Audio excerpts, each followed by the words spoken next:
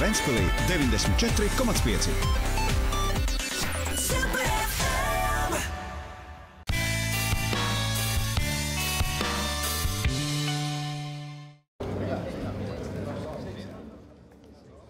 Iekraujot teju 50 māju moduļu kuģī, kas dosies uz Norvēģiju, Hendals konto Latvijas svinīgi pieteica sevi kā nopietnu jaunu ražošanas uzņēmumu Ventspilī.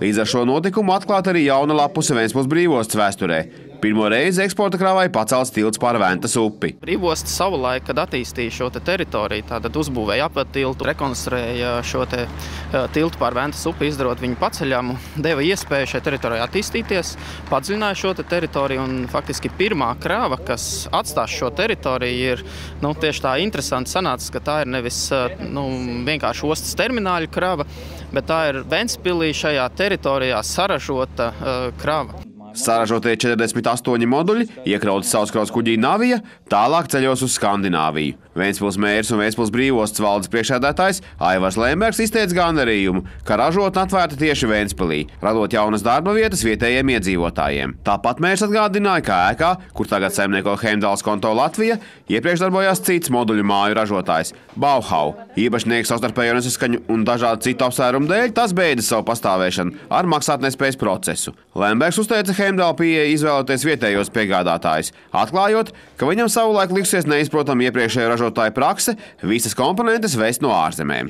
Latvijas un Norvēģijas kopuzņēmums Hendals konto Latvija ražošanu Vēstpils brīvos teritorijā uzsāk jau pagājušā gada nogalē, taču šonadēļ svinīgi tika nosūtīta pirmā eksporta krava. Kā atzina uzņēmuma Latvijas puses līdzīpašnieks Guntis Rāvis, jau top nākamie māju moduļi un noslēgt arī sadarbības līgumi. Tas ļauj apgalvot, ka šogad tiks ražoti vismaz 250 moduļi. Tie Vēstpils rūpnīcā tiek ražoti ar pilnu iekšējo apdari. Tajos ir virtuves iekārta un pilnībā aprīkots sanitārais mēsls.